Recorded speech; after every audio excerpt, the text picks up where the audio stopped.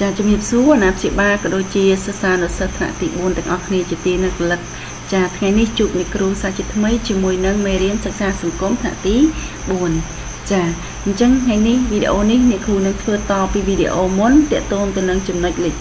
4និយាយអំពីទូនីតិនិងភារកិច្ចសំខាន់សំខាន់របស់រដ្ឋាភិ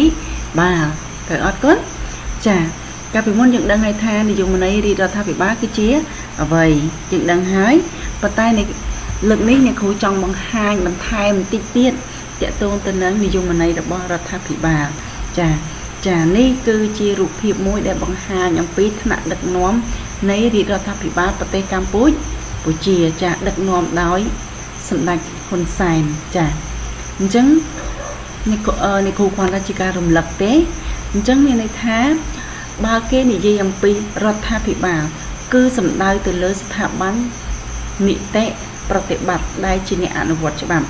ហើយធ្វើឲ្យប្រជាជនមានសុវត្ថិភាព និងជាអ្នកផ្ដល់សេវានានាជូនសង្គមចានេះគឺជានិយមន័យអឺមួយរបស់រដ្ឋាភិបាលអូខេហើយអញ្ចឹងយើងតទៀតមុននឹងទៅដល់ទូនីតិហើយនឹងភារកិច្ចវាអញ្ចឹងអ្នកគ្រូគ្រាន់តែឲ្យចង់និយាយរដ្ឋាភិបាលសំដៅទៅលើអីសិនហើយបន្ទាប់មកយើងដឹងថារដ្ឋាភិបាលចែកចេញជាប្រមាណ អូខេចាអញ្ចឹងគេចែករដ្ឋាភិបាលជាពីរផ្នែកសំខាន់សំខាន់គឺ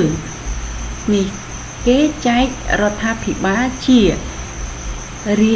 ដ្ឋាភិបាលកណ្ដាល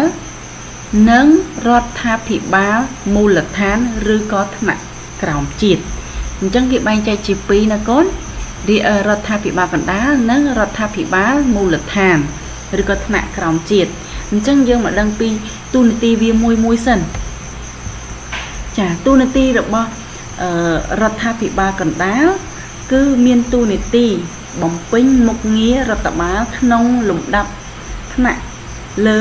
និងស្ថិតក្រោមក្របខ័ណ្ឌជាតិទាំងមូល ដែលមានកាតព្វកិច្ចរៀបចំកិច្ចការរបស់ប្រទេសជាតិទាំងមូល ចានេះគឺជាទូនាទីរបស់រដ្ឋាភិបាលកណ្ដាលណា ចុះរដ្ឋាភិបាលថ្នាក់មូលដ្ឋានវិញតើ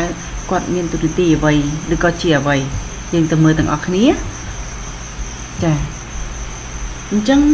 នៅរដ្ឋាភិបាលមូលដ្ឋានក្រសួងឬក៏ស្ថាប័នរដ្ឋាភិបាលមានរចនាសម្ព័ន្ធគ្រប់គ្រងរបស់ខ្លួនទៅតាមបណ្ដាខេត្តជាមន្ទីរឬក៏បណ្ដាក្រុងឬស្រុកឬក៏ជាការិយាល័យអូខេ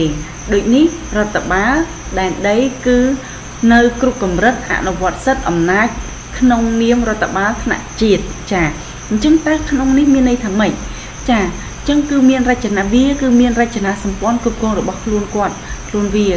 ទៅតាមបណ្ដាខេត្តជាមន្ទីរអញ្ចឹងទៅតាមបណ្ដាខេត្តមន្ទីរអីគេមន្ទីរក្រសួងមន្ទីរអប់រំយុវជនកីឡាអីចឹងណាមន្ទីរមន្ទីរវប្បធម៌អីចឹងនឹងគឺជាមន្ទីរបណ្ដាក្រុងឬស្រុកនេះគឺជាកាលាការិយាល័យស្រុកការិយាល័យខេត្តការិយាល័យ អីផ្សេងផ្សេងណាកូន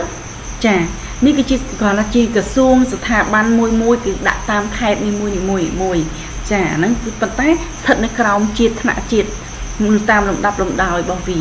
មានគ្រប់ផ្នែកណាកូនកន្លែងនេះតនទេកូនចាបើតនហើយនេះគ្រូទៅមុខទីទៀតណាចានេះគឺជារូបភាពចារូបភាពថ្នាក់ដឹកនាំប្រទេសយើង